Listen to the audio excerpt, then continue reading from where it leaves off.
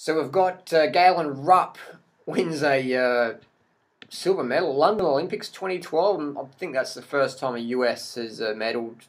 Correct me if I'm wrong in the 10,000 meter.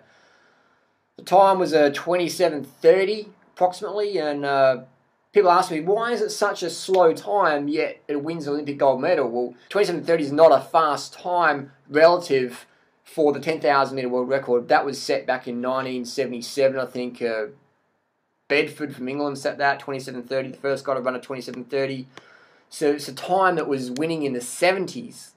So it's a, a time that's 35 years old. Why are these guys not running world records at the Olympics? Well, there's possible hot sauce reasons for that, but also more importantly, probably is just the the tactics at the Olympics are a lot different, where guys are sort of you know foxing each other. They're going for the win versus going for the world record.